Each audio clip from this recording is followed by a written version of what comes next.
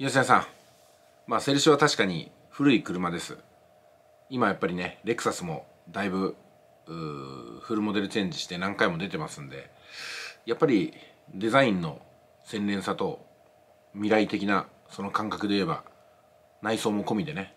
レクサスなんでしょうね。でも例えばですよ今免許を取って初めて車を選んだ人から見ると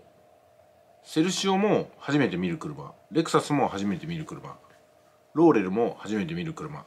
R34 も初めて見る車。トランザムも初めて見る車。どれもが新品同様にピカピカに磨かれていたらやっぱりその人のセンスなんでしょうね。古いからかっこ悪いとかそういったものっていうのはやっぱり長くこの業界を見てるからこそ起きるバイアスであって初めてこの世界に入ってくる人にとってみたらあんまり関係ないかもしれないですよね。それこそ車なんてのは価格とデザインでほとんどの方は決めるんじゃないかなと思うんですよ。うん、だって今ねどの車もエアコンついてるしパワーウィンドウだしシートはゆったりしてるしそんなに変わんないと思うんですよね。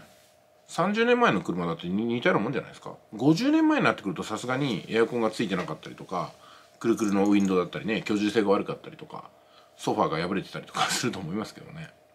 あそういえばあの GX の71のクレスタとかって